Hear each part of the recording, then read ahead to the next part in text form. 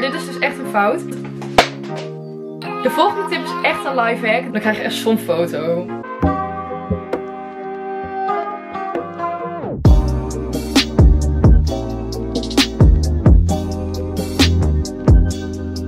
Hoi en leuk dat je kijkt naar deze nieuwe video. Voor de mensen die mij nog niet kennen, mijn naam is Danique. En als je nieuw bent en je denkt aan het eind van deze video, nou dit vond ik een leuke video, vergeet dan zeker niet te abonneren. Vandaag heb ik echt een video waar je waarschijnlijk wel heel veel aan zult hebben als je deze tips allemaal nog niet kent. Vandaag heb ik namelijk 10 life hacks hoe je altijd goed op een foto staat. En door deze tips kan iedereen foto's maken. En als je deze tips goed volgt, heb je altijd een goede foto voor Instagram. Deze tips kunnen je namelijk helpen met poseren, helpen met het maken van de foto's en de positie waaruit je fotografeert. Dus als je nou zin hebt in deze video, vergeet dan niet alvast een duimpje omhoog te doen. En laten we dan direct beginnen met de video. Ik heb eigenlijk altijd twee standaard mensen die de foto's maken voor mijn Instagram. Namelijk mijn moeder, die heb ik een beetje uitgelegd hoe het werkt. En mijn moeder is echt goed geworden in foto's maken. En daarnaast ook nog mijn vriendje Thomas. Ik denk dat jullie hem wel kennen, want hij komt ook altijd in mijn weekvlogs en zo. En hij was eerst ook niet heel goed in foto's maken. Maar uiteindelijk kan hij nu ook echt super goede foto's maken Ik laat eigenlijk altijd hun foto's maken. Omdat andere mensen niet precies weten wat ik wil en zo. En hun maken altijd mijn foto's. Vandaar dat de foto's er altijd eigenlijk uitkomen zoals ik het wil. En dat is natuurlijk helemaal top. Als je mij wilt volgen op Instagram. Mijn Instagram is danique.hosmar. En daar kun je een beetje mijn stijl van foto's zien. En ik ben ongeveer anderhalf jaar geleden begonnen met Instagram. Echt actief Instagram. Influencer dingetjes en zo. Dat soort dingen. Dus ik heb zeker anderhalf jaar ervaring met foto's maken en poseren. Dat soort dingen. Dus ik denk dat ik jullie echt wel kan helpen. En wat ik vooral merk is het verschil tussen inzoomen en de foto van dichtbij maken. Als je namelijk iemand je telefoon geeft van maak maar een foto van mij. Dan zul je al snel zien dat ze heel dichtbij komen. Nee, ik wil geen melding. Dan zul je al snel zien dat ze heel dichtbij komen om een goede foto van jou te maken. Maar dit is dus echt een fout. Als je je mobiel namelijk heel dicht bij je gezicht doet terwijl je een selfie maakt, dan zie je er echt uit als een aardappel. En als je hem wat verder af doet, dan zul je zien dat je hoofd heel anders lijkt. Want als je dichterbij staat, dan vervormt de camera een beetje hoe je eruit ziet. Dus dan kunnen je benen bijvoorbeeld heel kort lijken of het klopt in ieder geval niet. Als je snapt wat ik bedoel. Het is een beetje lastig uit te leggen. Daarom kun je beter inzoomen als je een foto maakt. Ik maak niet zo heel vaak selfies, maar daarom gebruik ik als ik selfies maak niet mijn camera van mijn mobiel, maar Snapchat of Instagram stories.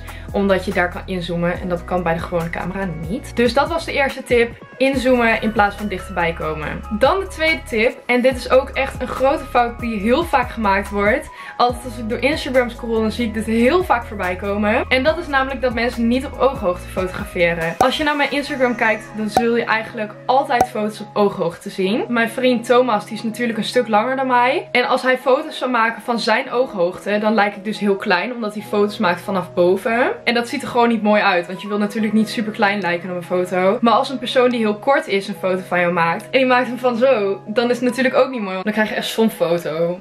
Als je snapt wat ik bedoel. Als degene die een foto van jou maakt zijn arm op de hoogte doet van jouw schouders dan zal je eigenlijk altijd ooghoogte krijgen. Maar je kan zelf natuurlijk ook wel een beetje nagaan wat precies ooghoogte is. En wat voor jou het best werkt. Maar je wilt gewoon niet foto's die of zo zijn of zo. Want dat is natuurlijk niet mooi. Daar is wel één soort van kleine uitzondering bij. Als je namelijk zit is het wel mooi als je de foto van iets van boven maakt. Maar niet te veel van boven. Want je wil natuurlijk niet dat het lijkt alsof de foto vanuit een helikopter is gemaakt. Als je de foto gewoon iets meer van boven maakt als je op een stoel zit. Dan geeft dit een super natuurlijk effect. En daardoor lijken je benen ook langer. Want als je de foto maakt van het ooghoogte lijken je benen niet zo lang. Dat als je het maakt van ongeveer hier. De volgende tip is echt een life hack. Dit is namelijk om je benen langer te maken. Zoals ik bij de eerste tip al had gezegd, werkt je camera zo dat het je lichaamsdelen kan vervormen. Maar dit kun je ook als voordeel bekijken, aangezien je hiermee je benen langer kan maken. Dus als je een foto wil maken waar je benen langer lijken, als je namelijk je benen in de richting van de onderkant van de camera hebt,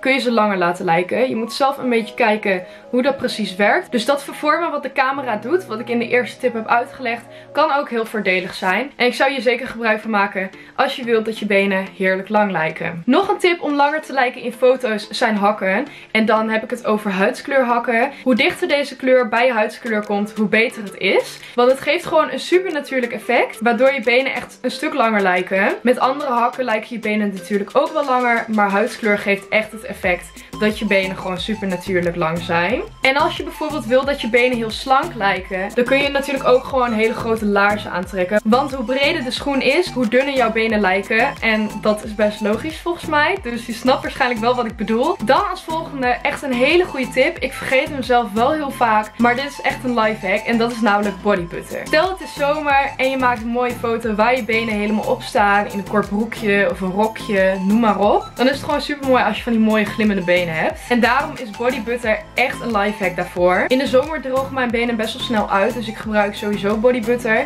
Maar voordat je gaat shooten moet je eigenlijk gewoon body butter op doen. Want het maakt echt zo'n groot verschil in de foto. Want als je benen dof lijken, lijkt de foto ook direct dof. En wordt de foto gewoon niet zo mooi als dat die had kunnen zijn. Dus ik zeg het gewoon nog een keer. Body butter is echt een life hack. En zorg ervoor dat je veel gebruikt. Ik maak echt super veel foto's. Omdat ik natuurlijk bezig ben met influencers. Dat soort dingen. Maar kijk je deze video nou en denk je van... Ik maak eigenlijk nooit echt foto's. En ik weet absoluut niet wat mijn beste pose is. Wat ik kan begrijpen. Want dat wist ik namelijk in het begin ook niet. En dat weet ik nu alsnog soms niet. Dan weet ik even niet welke pose ik moet aannemen. Als eerste kun je natuurlijk in de spiegel oefenen. Het klinkt echt heel stom. Maar je kan natuurlijk wel gewoon even kijken van wat staat goed bij me? Wat is de goede kant van mijn gezicht? Als ik zo doe, lijkt het dan heel leuk? Of lijkt het dan alsof ik mijn oksel ruik?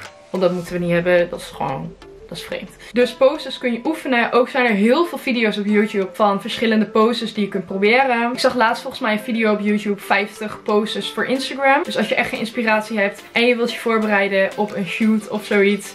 Dan kun je dat altijd bekijken op YouTube. Of gewoon inspiratie opdoen op Pinterest, Instagram. Maar ik heb daar ook een hele goede hack voor als je al foto's aan het maken bent. Vraag degene die foto's van jou aan het maken is om de camera om te draaien. Dan kan diegene zelf nog bepalen hoe hoog hij hem wil hebben en zo. En dan kan diegene een pose aannemen. En dan heb je eigenlijk 100% kans dat de foto beter is dan als diegene gewoon maar random een foto maakte. En ik weet zeker dat je dan sowieso blij bent met een van de foto's. Aangezien je zelf al hebt gezien hoe het ongeveer gaat worden.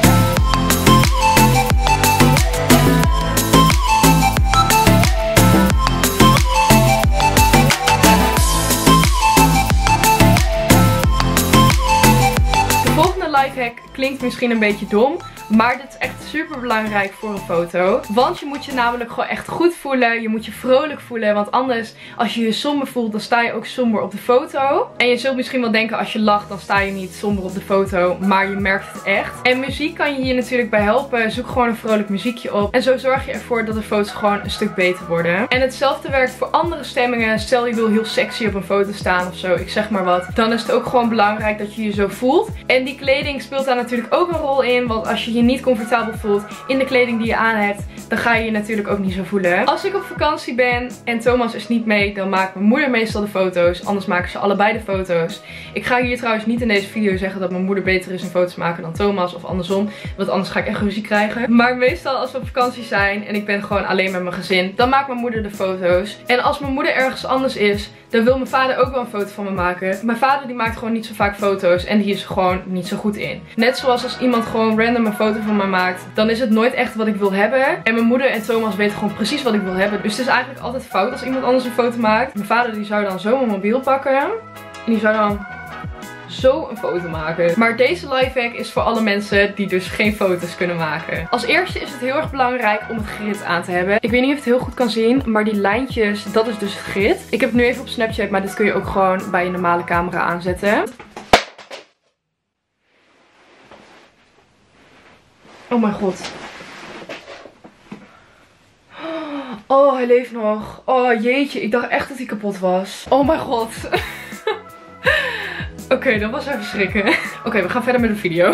Je moet altijd vertellen aan degene die de foto aan het maken is dat het grid parallel moet lopen met de horizon. Stel je bent aan het strand en je ziet de horizon mooi, dan kun je dat echt heel makkelijk uitleggen. Want de streepjes die over horizontaal staan, die moeten gewoon precies gelijk aan die horizon staan. Maar stel er is geen horizon, moet je het grid gewoon laten lopen aan alle rechte lijnen. Bijvoorbeeld de muur, als daar rechte lijnen op staan, dan moet je je daar gewoon aan houden. Want mensen denken altijd van, oh ja, dat boeit niet, want dat kan kan ze altijd later nog bewerken.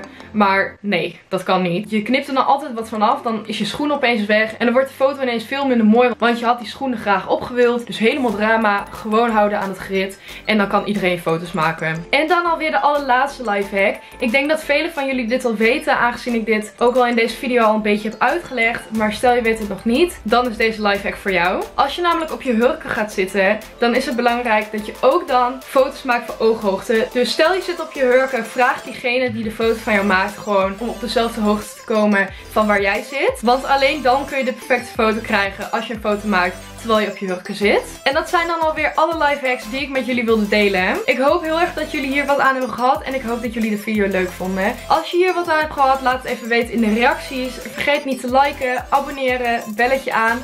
En je kunt mij volgen op Instagram. Dit is namelijk mijn Instagram, danique.hosmar. En hier kun je natuurlijk ook allemaal foto-inspiratie en poses, inspiratie en zo uithalen. Dus dat is misschien ook leuk om naar te kijken. Linkje staat ook in mijn beschrijving. En daar hou ik jullie ook op de hoogte van mijn video's. En dan was dit alweer het einde van de video. Ik wil jullie heel erg bedanken voor het kijken. En dan zie ik jullie vrijdag weer bij een nieuwe weekvlog. Doei doei!